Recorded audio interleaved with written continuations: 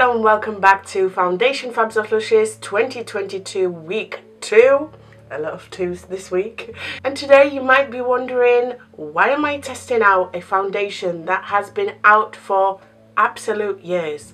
Well, to be honest, I've never actually done a wear test on this and I just kind of want to know whether this used to be really good because we didn't have that much choice or is it actually really good? So today as you can tell by the title and the thumbnail of this video I will be trying the Fenty Beauty the OG Pro Filt'r Soft Matte Longwear Foundation. So if you would like to see what this looks like and wears like on an oily acne prone skin then all you have to do is keep on watching it was Fenty Beauty when it first originally launched that has made all the other brands think about shade range. Fenty was just showed us how inclusive brands were all these years, including MAC, including Estee Lauder, despite their wide shade range. And this, for so many years and for so many people, used to be like the favourite foundation me included. The one thing that I never ever did was actually do a wear test on this. And I've been on this channel for almost five years. And ever since starting my channel I have tested several different foundations, several different formulas, several different finishes. And I kind of know what I like, I know what I want from a foundation. And my taste has refined. So I kind of just wonder, do I still like this? Is it actually good or do I just remember it to be good? And as always with any foundation wear test I am going to read a little bit about this foundation despite us knowing it very well this is considered to be a bestseller on the Fenty Beauty website. It is £30 in the UK. Medium to full coverage for all. Long wear, light as air. Give it to me quick. A soft matte long wear foundation with buildable medium to full coverage now in a boundary breaking range of 50 shades. Did you know that Pro Filt'r Soft Matte Longwear Foundation is a 2019 Allure Reader's Choice Award winner? Pro Filt'r Soft Matte Longwear Foundation gives skin an instant smooth pore diffused, shine-free finish that easily builds to medium to full coverage. This oil-free soft matte foundation is made with climate adaptive technology that's resistant to sweat and humidity and won't clog pores so that wherever you are, it's going to work on your skin. Best of all, this light as air Longwear Pro Filt'r foundation is undetectable on skin so you always look like you. Let's zoom it in and let's just get this on, alright? okay, I decided to get the shade 150, which is in the light family or fair family, and it is a neutral shade if I'm not mistaken. I am giving this foundation a good shake because I've had it for almost a year just standing there waiting for me to try it. I bought it along with the hydrating foundation that I tested out last year or the year before. I think it was last year. I hope it was last year. It might have been two years ago. Oh my god. Anyway, let's try it out. I forgot about this. This foundation is quite runny and it smells really nice. I usually I'm not like a person that needs uh, additional smell. In fact, I prefer to have no additional smell rather than a very strong um, fake smell. But this one in particular, it smells like vanilla E. And as always, I'm going to start off by applying this foundation on one side of my face and I'm using a sponge and this is one side of my face with one layer of the foundation on applied with a sponge in comparison to my bare face. It has already set. Um, that's the one thing that I wouldn't like in a foundation but it is nice medium coverage. It has a lovely finish. It still kind of smells nice on my face. I, I, I do sort of remember why I loved it so much okay let me try a brush on the other side if I'm not mistaken I didn't like the brush but you know maybe I'm wrong To be fair, it's not as bad as I remember it to be, but it's not my favourite. That's just, it's, it's just preference. I prefer, I feel like it just looks a little bit smoother on the sponge side but the brush does work which is nice. This is the other side of my face with one layer of the foundation on applied with a brush. The sponge because it presses it in and it's porous it makes my texture a little bit smoother. Obviously this foundation does claim to be um, blurring and it does give you like a slight blurring effect in my opinion. It does that quite well. Um, and despite my texture I don't think it's that visible. This is just ever so slightly more matte than I personally prefer it.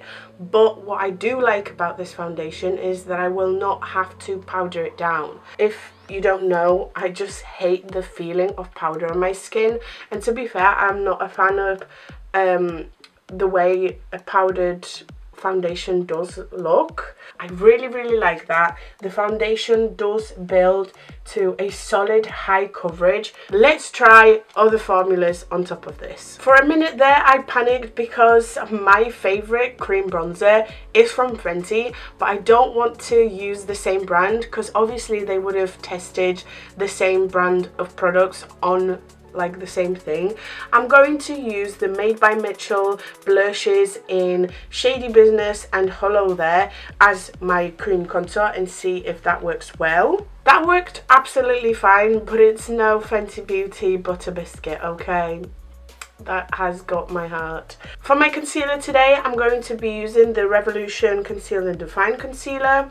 And again, there's no problem there. It has blended in with the foundation flawlessly. I'm going to very lightly set my concealer and I'm not setting the foundation. I absolutely love the finish of this foundation.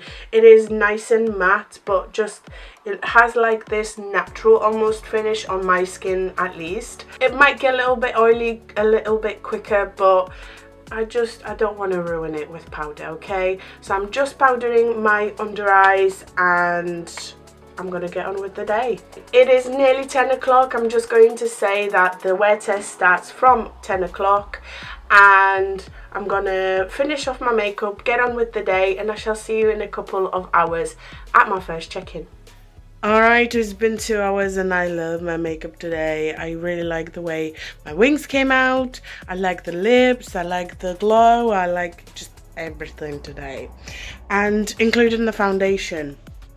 It has been two hours um, and it looks decent. For um, the one slightest disappointment is that it's sort of starting to separate where my oils are coming through. Especially like on this cheek. Hopefully you can see it. I will definitely zoom in. In fact let me blot in that spot. Maybe you'll be able to see it better I don't know. Can you see it like there? That's exactly why I wanted to do this video because it looks beautiful initially. It still looks great, but there are things happening on my face that are not cute.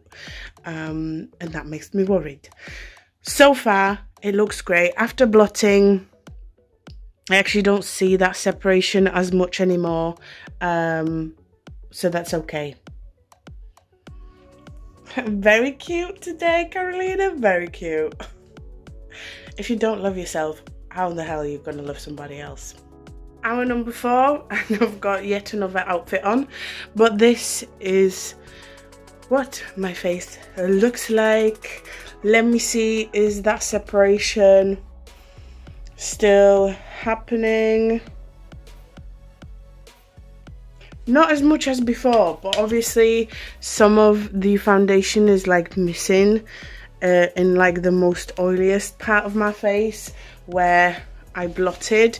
And I am going to blot once more.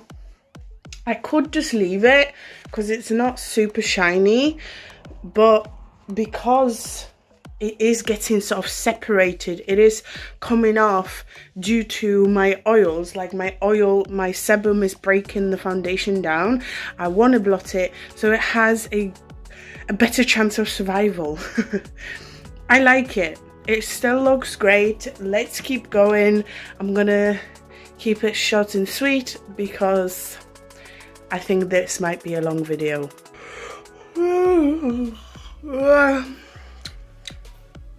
So I had a nap.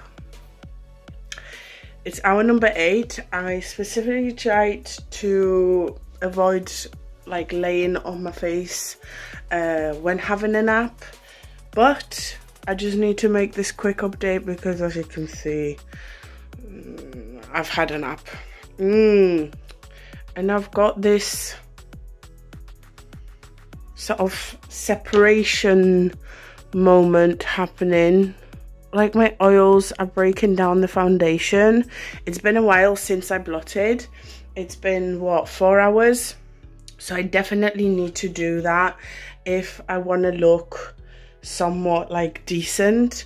Um, and I do have to say it looks all right, you know, for eight hours I look I look all right. Let me blot and let's carry on because I do want to wear this foundation for like at least 10 hours, maybe 12. We shall see, okay? Hour number 10 and we are coming to the part of the day where I can barely just squeeze in a last natural lighting uh, check-in and I want to do that really quickly. My face looks fine. This foundation holds up. It is long wearing. I am going to show you what it looks like at the 12 hour mark, but I'm just going to conclude it here because it looks good. It is long wearing. It is nice. Um, it is expensive reasonably 30 pounds is quite high up in price but there is a reason why everyone loves it why it's a bestseller on Fenty why it's good, why people recommend it. And I recommend it too. I think you'll like it. If you have oily skin, I think uh, this should hold up on your face quite well.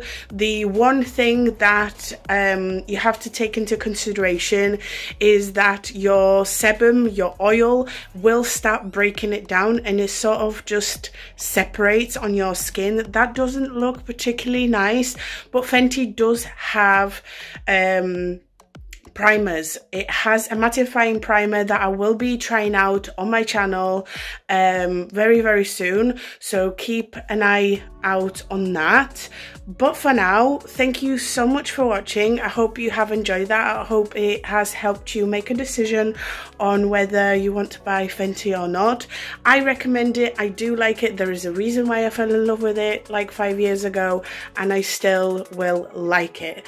So I hope you have enjoyed that. If you did, make sure to like, comment, subscribe. Thank you for watching Foundation Fabs or Flushes week two, and I shall see you next week with another foundation.